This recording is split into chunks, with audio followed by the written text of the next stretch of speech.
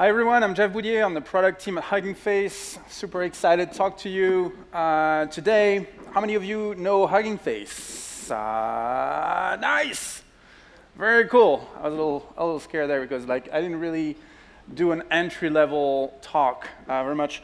Hugging Face, of course, stands for the emoji, and uh, I know you've been uh, in listening mode for for about an hour, so maybe uh, let's do a little participative thing. Do you know, do, can you do for me like the hugging face? And we take a little selfie? Yeah, you got it. Okay, and we do a little selfie together.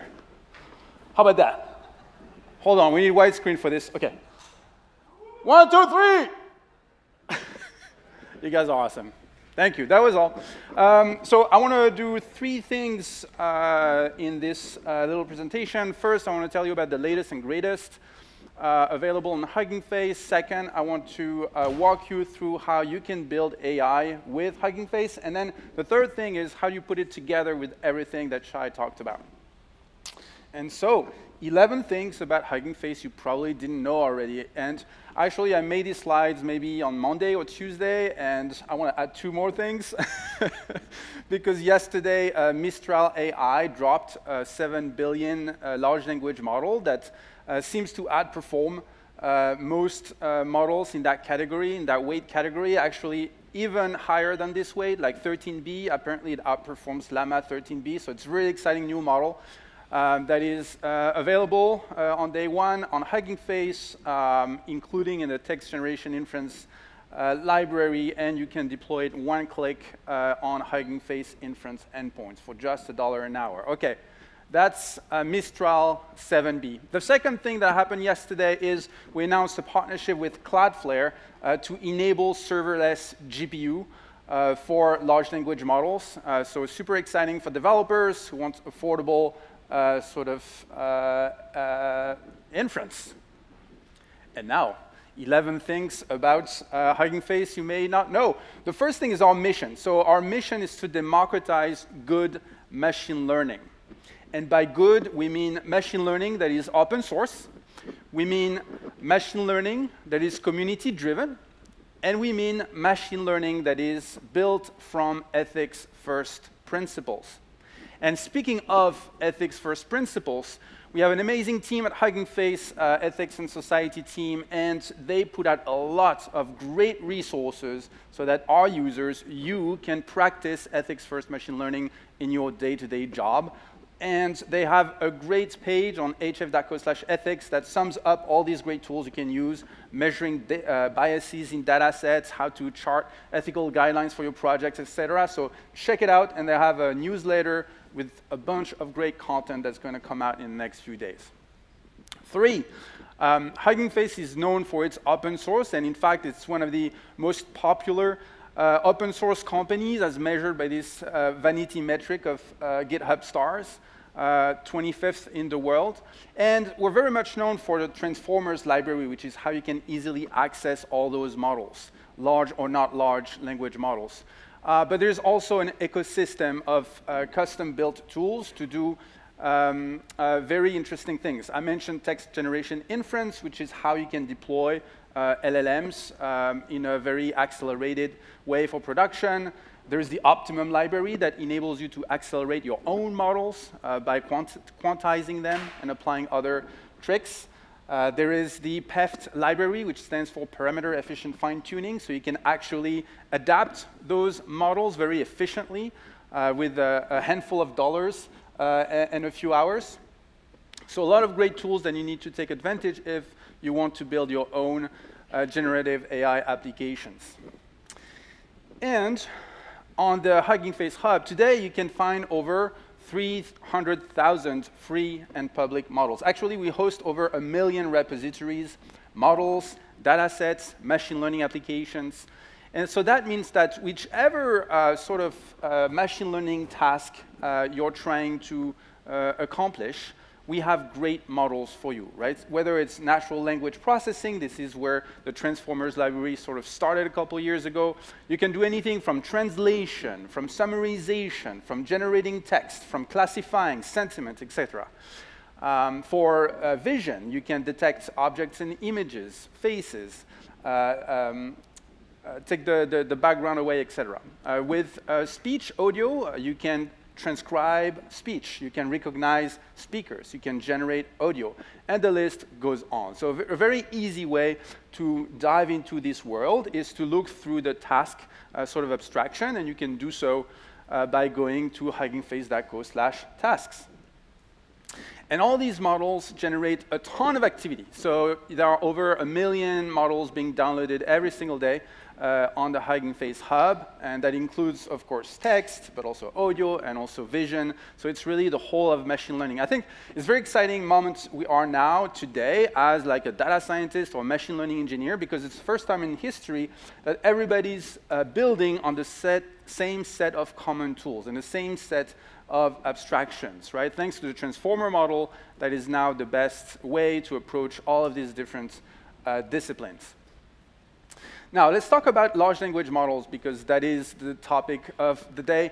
Uh, there are over a thousand open models today uh, that are available on the Hugging Face Hub. I think there's actually over 30,000 checkpoints that are available thanks to all of the community fine-tunings.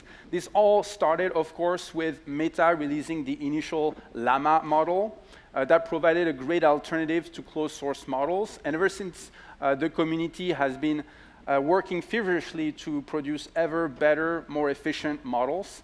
Um, when you look at those models, something that's important to consider is like which license uh, they are under, and that's why I have some blue ones and some uh, uh, dark ones. The blue ones are the ones that are commercially permissible. So always check the, license, the license uh, when you're considering a model.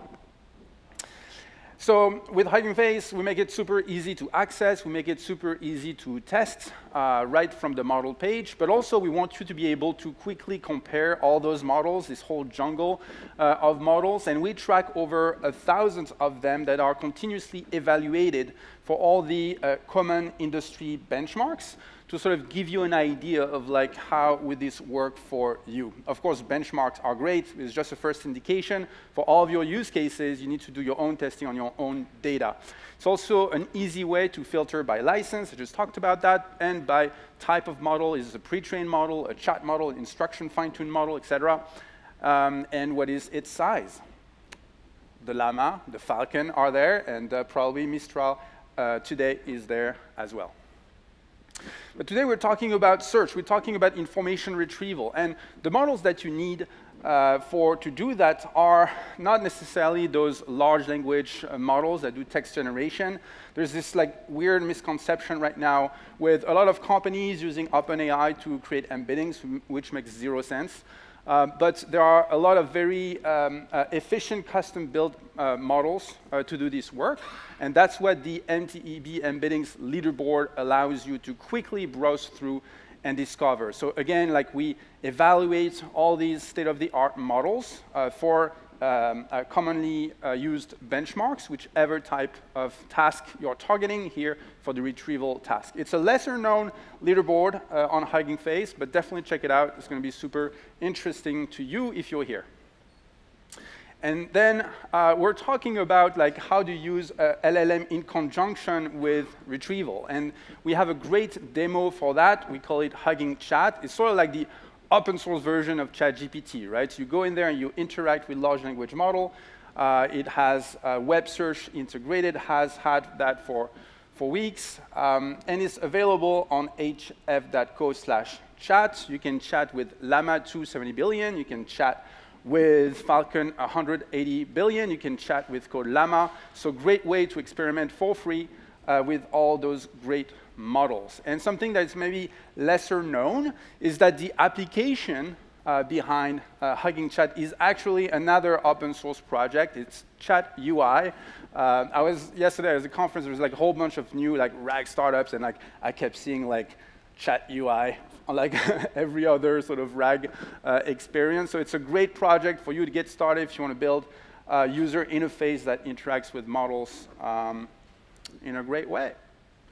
And now, putting it all together, so you have your Llama 2 70B, uh, but you want to ground the model in some truth, and you're going to use the web to do that search. We built this experience uh, with web search within Hugging Chat so that we retrieve ground truth information from the web and then feed that back to the model. I don't know if you can read, but I asked the model who won between France and Namibia during their last Rugby World Cup game. And the model said it was France by 96-0, so must be a hallucination. No, actually, I checked, it's true. um, and so that's how you put uh, LLMs with RAG together to create this sort of uh, uh, truth-grounded experiences. All right, so that was the latest and greatest from Hugging Face and what matters to you if you're interested in search. Um, next, I want to tell you about how you can build uh, your own AI apps using Hugging Face and the Hugging Face Hub. So what's the hub? The hub is um, our website. Um, and it's where you can explore uh, and access all these uh, 300,000 models that I was talking about. And these are just, and I'm, i was too lazy to redo that slide, but there are more models now. Um, and these are just the free and publicly accessible models. Of course, like when you create a new repo on Hugging Face, whether it's a model or a data set or a space, which is a hosted application, you can choose for it to be public or private, private to you or your organization. You can easily filter all those models by tasks. I told you about tasks earlier, and by license and by the language. Uh, that's one of the great things about open source, that whatever language you're interested in, whatever task, whatever uh, type of domain uh, of data, there's a great model there for you that's been contributed to by the community. The next thing you can do with the Hugging Face Hub is to manage your own models. And under the hood, whether you're looking at a model or a data set or a space, it's a Git repository. That means you can look at everything that's inside, and that's the Files tab that will show you every single file that's in the repo. That means that everything is version control. So you have access to the full history, so you can know who's made what uh, change, uh, what is the commit, the revision number, so that you can build production systems that are robust and won't change under your user's feet. Okay, so now you've found some models, uh, you started creating your own repo to manage your own models. What's the next thing you can do? The next thing you can do is collaborate around your models and data sets. And for public repo, that means collaborating with the community. For a private repo, that means collaborating with your team. And how do you collaborate? You can create uh, pull requests uh, to submit some change. Uh, hey, you didn't put uh, the license for this model. Like, here's a change to add the license. There was some typo in the model card, all the way to, hey, uh, I'm adding some safe tensors uh, format checkpoint to your model. And you can have discussions around the models. Um, so you can ask the uh, model author directly uh, to a question about the model. And actually, like, if you ever um, wonder about like any specifics about a specific model, like, don't email us. Like, use the community tab and uh, ask the, mo the model contributor directly. Saves me a bunch of emails.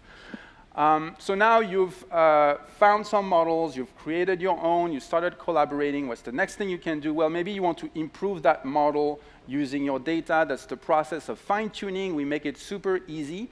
Um, and so if you want to train your model further, the, ones, uh, the one you've selected, you can either use auto-train, which is using Hugging Face infrastructure and sort of like a click and drag and drop experience, bring your JSON bring your CSV in, and we'll create models for you.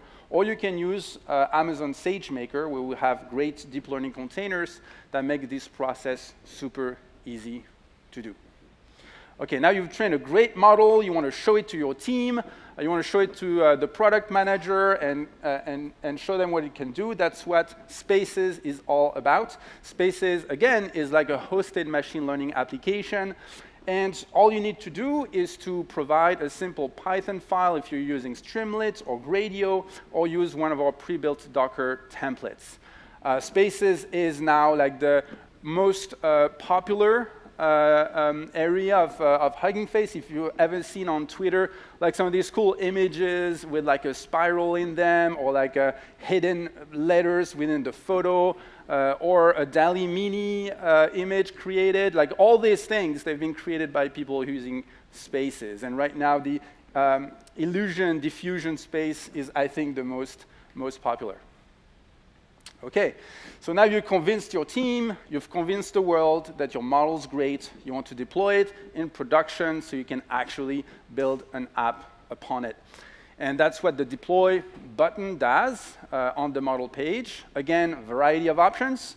Uh, an option I want to, uh, to highlight is inference endpoints. It is our hosted uh, model inference um, and when you go from the world of data science to the world of like, I have an app that I need to scale and users coming uh, in droves and then leaving, like that's a whole different ball game. You have to deal with GPUs and Dockers and all that. So we try to make that super easy uh, to make uh, machine learning models essentially plug and play. Uh, so all you have to do is say, okay, which model do you want to deploy? Which cloud should it be on? Which region? What kind of compute you want to put behind it? And there you go. Uh, you got an API that you can plug your apps into.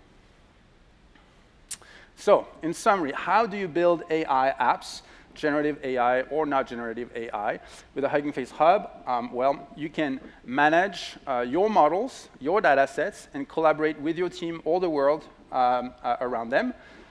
You can train them and improve them further with your own data. Uh, then you can demo them with Hugging Face Spaces. And finally, you can deploy them with inference endpoints.